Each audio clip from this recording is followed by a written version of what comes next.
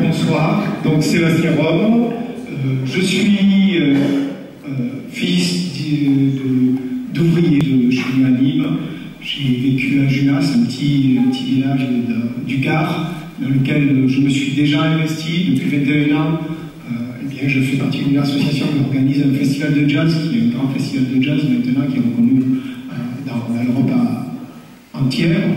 Et je suis venu il y a 10 ans sur euh, l'Odève. Donc j'ai un peu suivi euh, la, Via Lutera qui part de Nîmes, qui passe par Junas et qui, arrive euh, jusqu'à jusqu'à Voilà. Je suis professeur des écoles, je suis directeur d'école, de l'école qui est juste là en dessous, l'école Prosper depuis 10 ans.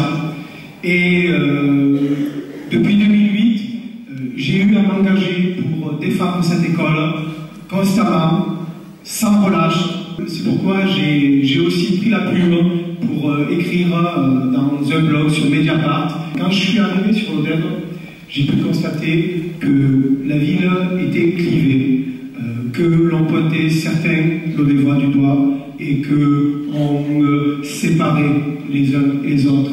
Mon engagement, c'est certainement de rejoindre cette liste, d'aimer l'Odève, d'aimer l'Odève pour euh, ses pierres, pour ses vieilles pierres, mais, et ses vieilles portes centenaires, mais c'est aussi euh, pour respecter, écouter et agir avec les personnes qui sont derrière ces pierres et derrière ces portes. La liste Marie-Christine Bousquet, euh, elle symbolise, je crois, ce mouvement-là, ce mouvement-là qui a entamé, qui est celui de rassembler les lots des.